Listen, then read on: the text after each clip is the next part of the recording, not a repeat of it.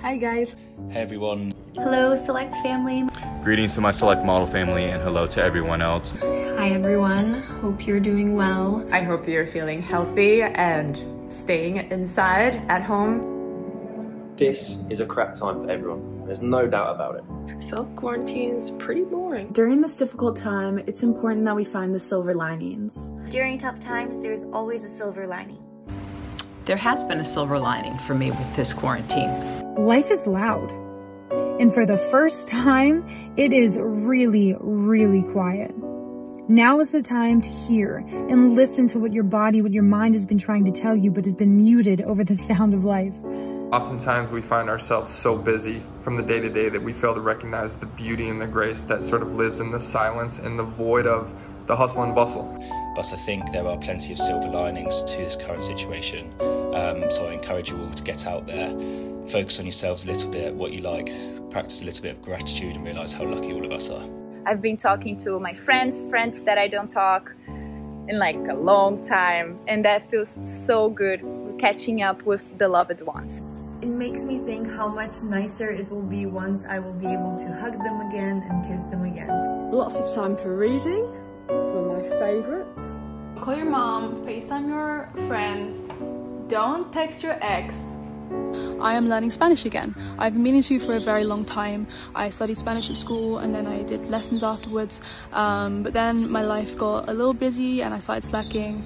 Pero estoy aprendiendo de nuevo. One of my silver linings that I found has been painting and selling them on Etsy in my free time, and it's really been able to keep me positive.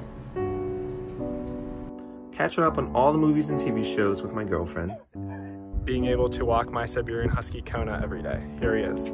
Of say hi.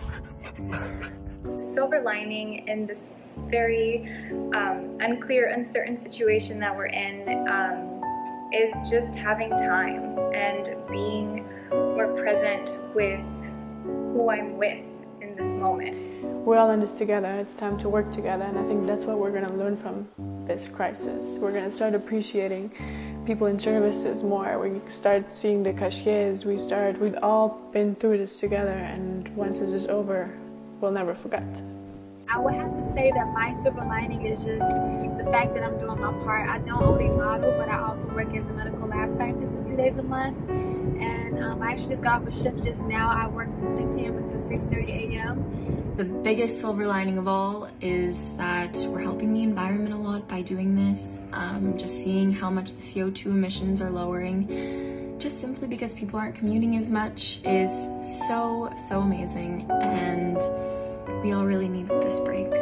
I just want to tell you one thing. How many times have we complained about not having time for our loved ones, or that we want to be in bed, or that we want to eat homemade food? Well, this is the moment, this is the time. Do it for yourself, for your family, friends, also for the environment that cries out for help. And in a few days, we will have a normal life, we will be happy, and please stay strong, please stay in home. Try and not get too worried because we will come through this. I say you try try to take a leaf out of my book and just try and stay as positive as you can with the people around you. We will get through this. We're going to get through this together. Stay safe. Stay safe, guys. Chin up, everyone. And I'm sending big kisses to all of you. Yeah, stay encouraged, and that's my silver lining. I'm going to sleep now.